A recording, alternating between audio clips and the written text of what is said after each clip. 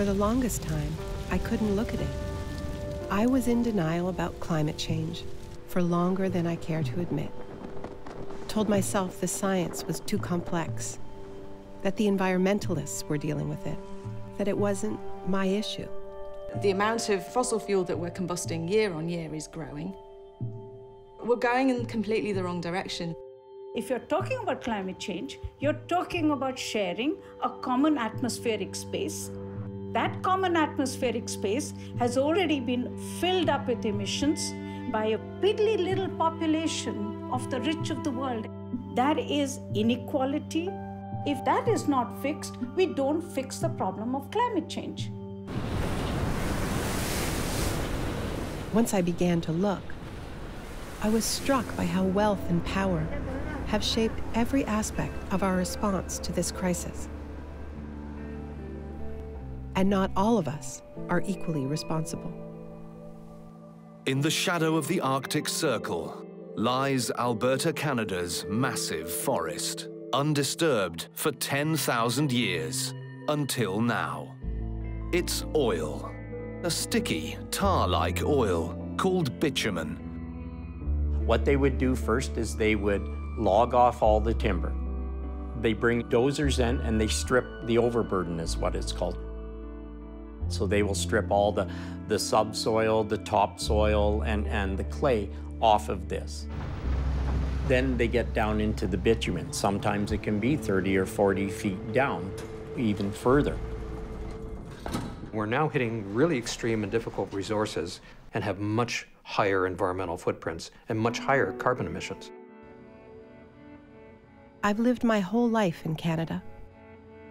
I think of the tar sands as the whole at the center of my country, an undertaking so vast and violent that we have trouble looking at it. It has changed us, this great machine that pretends to turn nature to its will.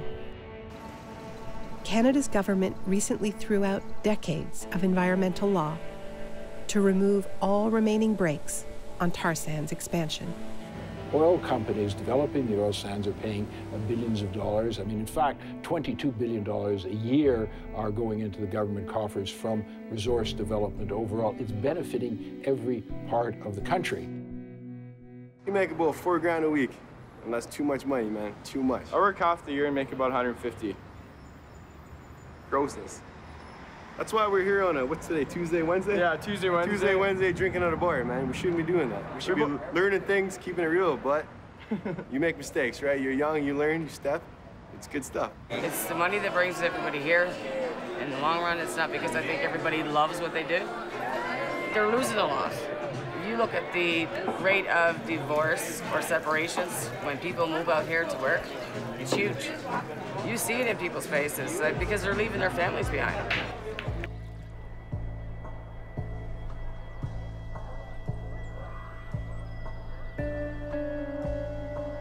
We said you can use the land to the depth of a plow. Anything beyond that is our responsibility. And we use those words because when these people came over, they wanted to own the land.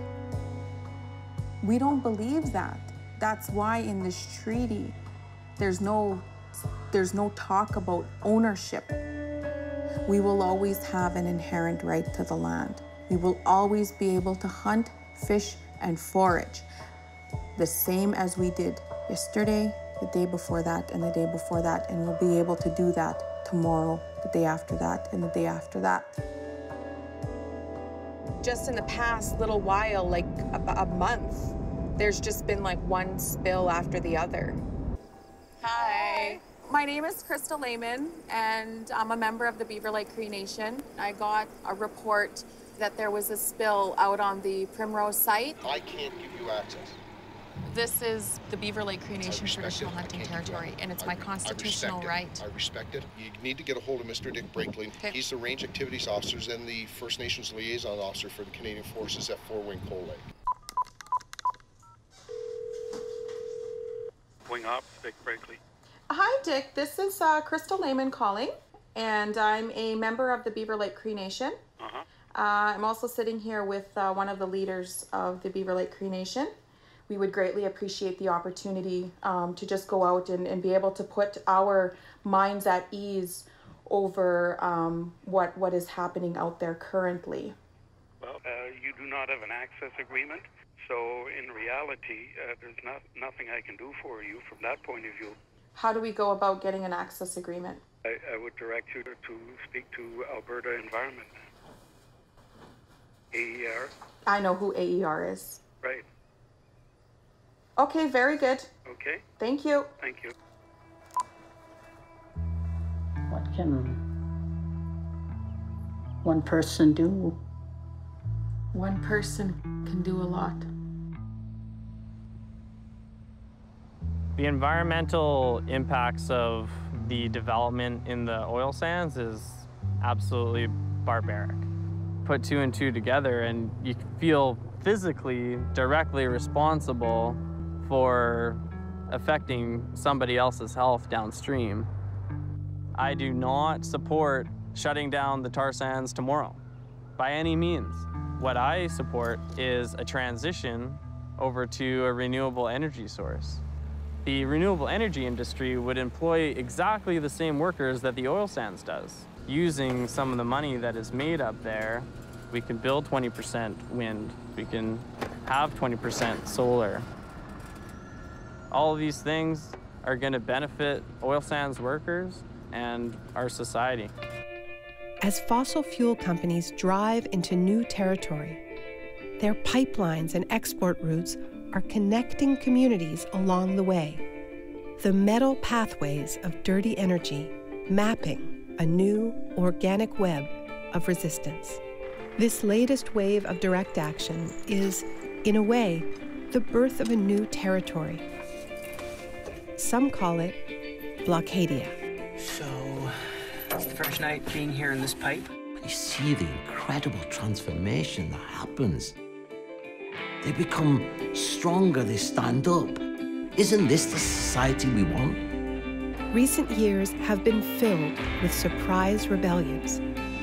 These moments are rare, and that means they must leave more behind. New laws, new systems, new deals. I think climate change can be the catalyst we need, our common lens. We are all, we are all part of this movement. Part of this movement. What if we realized that real disaster response means fighting inequality and building a just economy? That everyone working for a healthy food system is already a climate warrior.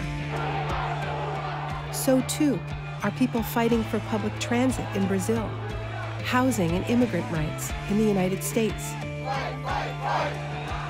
When there are movements battling austerity in Europe, extraction in Australia, pollution in China and India, environmental crimes in Africa, and the bad trade deals that lock in all of these ills everywhere.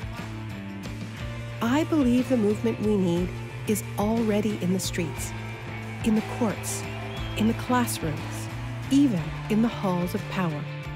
We just need to find each other. One way or another, everything is going to change. And for a brief time, the nature of that change is still up to us.